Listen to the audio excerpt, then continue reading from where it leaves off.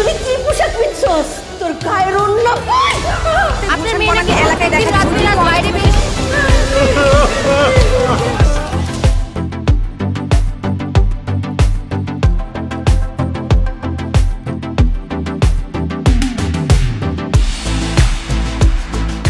দর্শক আজকে আছি ঢাকার স্টার সিনেপ্লেক্সের এসকেস টাওয়ারে এখানে কাজল আরিফিন অমি পরিচালিত ওয়েব ফিল্ম অসময়ের প্রিমিয়ার হচ্ছে।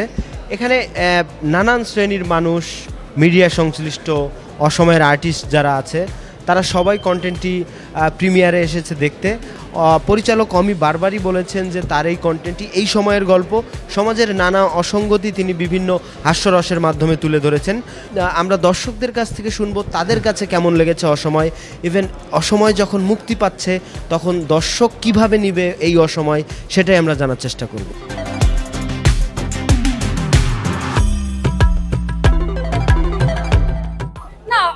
আসলে অমি ভাইয়ের যেটা স্ট্রং পয়েন্ট যে উনি অডিয়েন্স পালসটা বোঝে, উনি বোঝে যে কোথায় অডিয়েন্সকে ভাসাতে হবে, কোথায় কাঁদাতে হবে।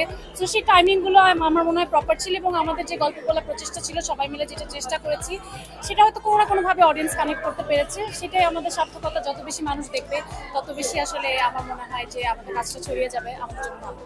অসময় আসলে সময়কে চ্যালেঞ্জ ছুড়ে দিয়েছে। আমাদের কাজল আরিফিন অমির, অসময় ওয়েব ফিল্ম আরও অনেক অনেক ডিরেক্টরের কাছে চ্যালেঞ্জ ছুড়ে দিয়েছে। এই ভালো সময়ে, অসময়ে অত্যন্ত ভালো একটি কন্টেন্ট বিভিন্ন ওটিটি প্ল্যাটফর্মগুলো বিভিন্ন ভালো ভালো কন্টেন্ট নিয়ে দর্শকের কাছে হাজির হচ্ছে। এটি একটি প্রতিযোগিতা। এই প্রতিযোগিতায় অমির যে ছবিটা, এই ছবিটা অত্যন্ত ভালো একটি ছবি আমার কাছে মনে হয়েছে এবং এটি সকলকে নিয়ে দেখবার মতো একটি ছবি। বলব যে অসময়ে একটা আমার এখন পর্যন্ত দুই হাজার চব্বিশ সাল যেটা মাত্র শুরু হয়েছে খুবই ট্রেমেন্ডাস একটা মুভি আমরা বছর শুরু একটা খুব ভালো একটা মুভি দিয়ে পেলাম। আমার কাছে মনে হয় যে বছর শেষে কতগুলো ছবি আসবে জানি না but one of the beautiful movie হিসেবে অসময় থেকে যাবে। অসময়ের সবচেয়ে সুন্দর গল্পটা দেখে বেরোলাম। অমি খুবই পপুলার একজন ফিল্ম মেকার ও ওর কমফোর্ট জোনে থেকেও অনেকটা ভাঙার চেষ্টা করেছে এবং দ্যাটস অ্যামেজিং রিলিজ হওয়া উচিত। এটা অসময় ছবিটা অডিটিতে সিনেমা হল রিলিজ করা হওয়া উচিত। আই ফিল ভেরি ইমোশনাল আমি হয়তো আজকে কেঁদেও দিতে পারি। আই হোপ আমার মা উপর থেকে দেখছে।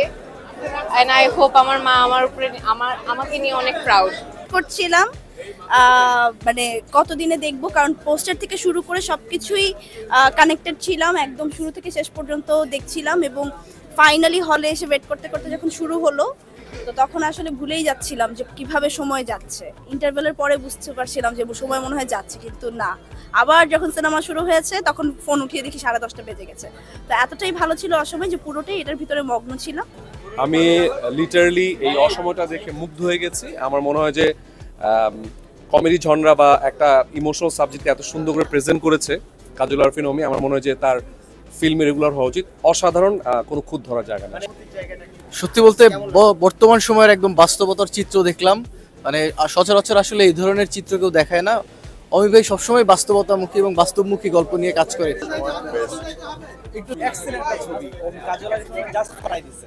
এই সময় সবচেয়ে উপযুক্ত একটা কন্টেন্ট আমি কাজল আরফিন অমি এবং বঙ্গকে স্পেশালি ধন্যবাদ। এইরকম একটা কন্টেন্ট আমাদের জন্য নিয়ে আসার জন্য। এবং দর্শকদেরকে বিশেষভাবে অনুরোধ করব আপনারা যদি এটা দেখেন শুধু দুর্দান্ত অভিনয় দেখবেন তাও না, বিশেষ একটা মেসেজ পাবেন যেটা আমাদের সময়ের জন্য খুব উপযুক্ত। খুবই খুবই ভালো। এত সুন্দর একটা মানে গল্প আমাদের এই এখনকার জেনারেশনের যে উচ্ছৃঙ্খলতা এবং এই যে পড়াশোনার বাইরে যে মিক্স আপটা বা সামাজিক যে অবক্ষয়টা হচ্ছে, এটা একটা অ্যালার্মিং মনে করি আমি যে অ্যালার্মিং মুভি।